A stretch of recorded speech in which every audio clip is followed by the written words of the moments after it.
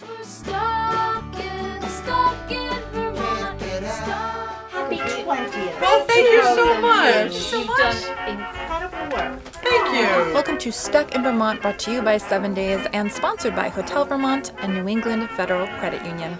My name's Eva Sollberger. We are here in Shelburne. It's Small Business Saturday, and we are celebrating 20 years of the Flying Pig Bookstore. We will call you. That should be in probably Tuesday. There's something for everybody in the community at a bookstore. Kids are like, That's the flying pig lady. Which is when I think we should have named ourselves the Graceful Gazelle. It's the best bookstore around. They are the heart of so many parts of the writing community. Finding a new book I'd like is usually exciting for me. Bring together authors and kids and readers. I saw that you're turning 20, and I just want to tell you I credit my daughter's love of learning to your bookstore. oh, We're very, very much a family. come on in. Come on in. No, No, come no, on in. Come on We moved to Vermont from New York City in, in June of 96, and we were both writers and teachers, and we were going to take our time and thoughtfully find jobs. And then this little building had a for lease sign. We both had master's degrees in teaching. I had been a school librarian. We met in adult literacy. So the whole book.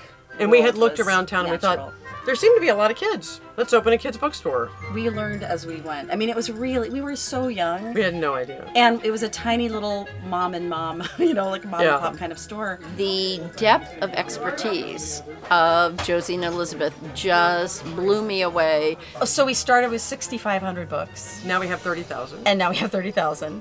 A lot of people still think of us as a kids bookstore because because our logo is so child-ish, you know, child friendly. We're a general store now. We didn't ever think we would be here 20 years later. We divorced quite amicably four years ago. You're not going to walk away from a 25 year friend. I think also the store is like, you know, it's kind of like raising a child. And when you're family, it's really nice if you can hang on to the family. Yeah. They did the Sheepover was the first one, and then this is the new one. You know, we're on a national stage because it was, Yeah. the independent bookstore world is small and a tight knit community. Independent book selling is on the rise again. I think people really miss miss those bookstores. And you can't have someone from Amazon say, This is the book you have to read. So this would be good for the three-year-old. You like some spooky stories. And Captain Underpants, the author, and then for the four-year-old, Four-year-old. that's slightly a little bit older. The books that people come for, you know what's going on. Like, does someone have cancer? Is someone getting divorced? Is someone thinking about adopting a baby? Has someone adopted a baby? Someone's getting a new Lost a pet. puppy. You find out so much about people through the books that are important to them. Magic adventure books, genie books. and you find out like what kids are struggling and what kids are getting bullied or what kids are thriving and then knowing that helps you pick a better book So let's um, zip over to graphic novels. he's an ornament and he's also a handmade. finger puppet merry christmas guys Thank you. oh my god it's chris Tebbetts. come on in to you. Also Tebbetts. with James Patterson. you have to this he's a really famous author I met Josie and Elizabeth when my very first novel was coming out, and I dropped into the old store 14 years ago. So I'd say, yeah, I've been shopping here for a while. in What- fact i just sold three of your books oh, awesome. yeah The community bookstores really bring authors into the community in a way that allows readers to interact with authors. vermont is full of amazing great author i think per capita we have more than any state I think that's true. I, I do think it is. They're also a really active, encouraging part of the writer-reader community. What I'm really looking forward to is the time that a kid who grew up at the bookstore comes to do a signing. National CBS was here filming us because of the Sheepover book. The year before, we were in the Wall Street Journal. Her own books have won awards, so she, you know she's been as an author just nationally celebrated, which is so fun to sell her books here. No, well, well, it's true. Oh my gosh, well, Josie, four time winner of the Seven Daysies Best Comedian in Vermont. There was no stand up comedy scene when we moved here 20 years ago. And then I started teaching. There's so many good comics now. Like that feels like if I died tomorrow, that's a pretty awesome legacy between that and the bookstore. It's like okay. Stop growing. It's freaking me out.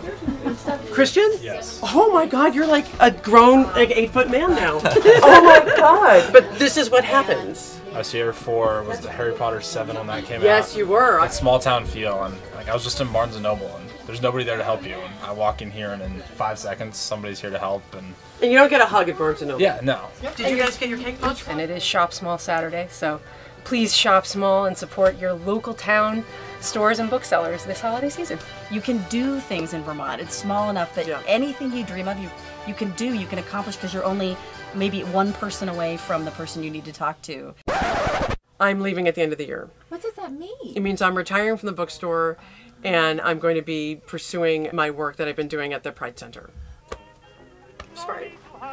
It's going to be hard to leave. Why did you tell her? but it's just to be, it's a privilege to be part of people's lives in this way. Give me the moon for a blanket. Give me the stars overhead. And I'll make the mountain my doorstep. And I'll make the desert my bed. I'll spend the hours among the flowers. I'll stay away from the throng. Let it rain or shine, the world is mine as I'm roll, roll, rolling along. You could buy things like The Killer in Me by my sister, Margot Harrison. And you can celebrate the Flying Pigs 20 year anniversary in mid January. They're going to have a big party, and we will get stuck in Vermont with you again real soon. Ooh, support local authors, local businesses, and local bookstores. And follow us on Twitter, YouTube, Facebook, Instagram, and sign up for our weekly email alerts. I think we won't be getting rid of her so easily. I think we're going to see a lot of Josie. I'm going to be the best customer they've ever had. See, Yeah. point right Yeah. And I get to order the books, some of my deep, dark serial killer books that I felt like I couldn't really read. I know. I... Okay, I'm sorry. I'm done. and that you can't in almost any other business. So anyway, sorry. Are you kidding? This is gold.